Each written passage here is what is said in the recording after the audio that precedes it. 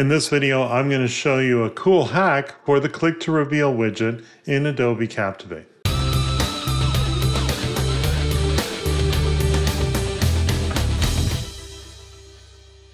One of the first things I noticed when exploring the widgets in Adobe Captivate 12 was that the Click to Reveal had icons instead of images.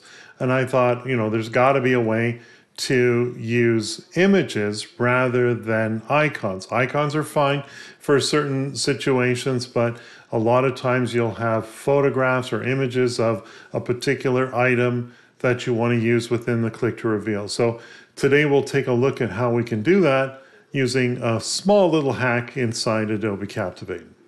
Click to reveal interactions are a great way to chunk out your content into bite sized pieces. Here we have a workplace safety interaction where we're going to click on identifying hazards, safe work practices, and emergency procedures and learn a little bit more about each. One of the things that many Adobe Captivate users are unaware of is that you don't have to use icons. As you can see, there's default icons that are included with this widget. And while you can certainly turn them off, one of the things that you can do is actually replace this background solid image of each of these click to reveals with an image instead of a solid fill here. Now, there are hover and visited states turned on by default.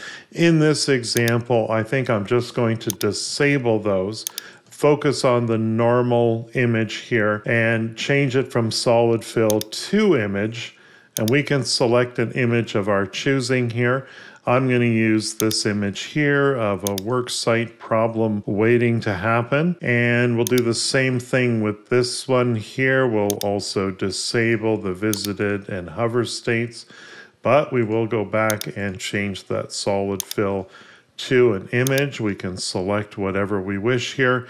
I kind of like this guy here. He's got a hard hat on, so he's doing some safe work practices here. Last but not least, we'll go to emergency procedures here.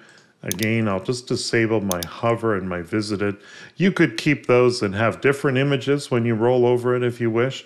But for my purposes here, I'm just going to keep it simple. We'll choose an image here. We'll go to system here.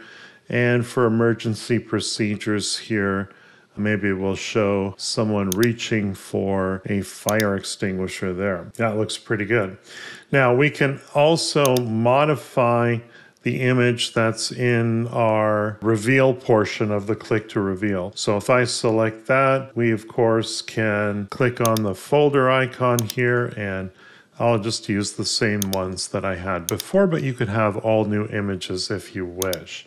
So for number two here, we'll have the guy in the hard hat. And for overlay number three, we'll select the fire extinguisher again there, just to have consistency there.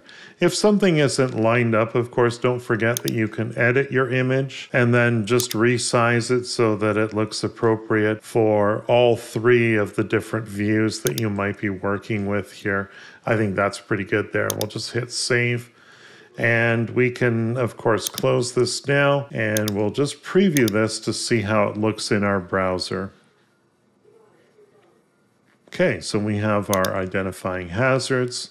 Looks good. Safe work practices and emergency procedures there.